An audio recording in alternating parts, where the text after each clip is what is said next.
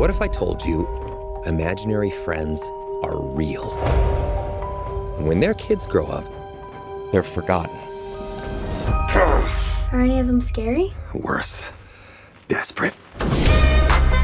Question Why did these kids forget about us in the first place? Last week, I just started falling apart. You're sucking the oxygen out of the room. Honestly, Doc, if this is how it's going to be, I'm just going to wheel myself back and plug in.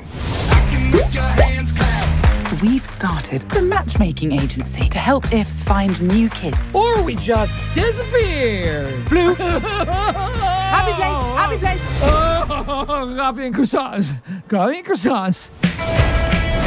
I can help you. How? Cause I'm a kid. You are the chosen one. No, no. Let's not give her a complex. Good luck, short stack. It's all up to you. No pressure.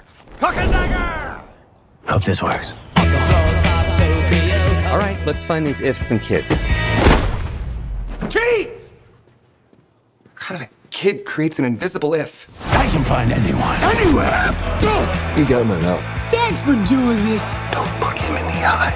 Which one? Yeah, that's gonna grow right back.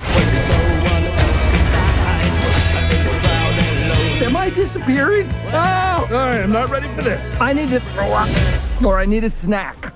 It's one of the two. Gross. You have to help them. Yes, we do.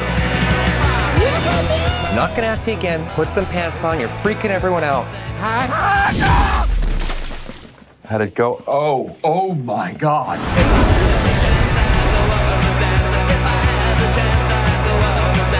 Does this make us partners? Not get ahead of ourselves, shall we? Keith! And mom said too much candy isn't good for your tummy, but I said, oh my God, Wow, my eyes can taste it. I'm so sorry. You don't taste that in your eyeballs?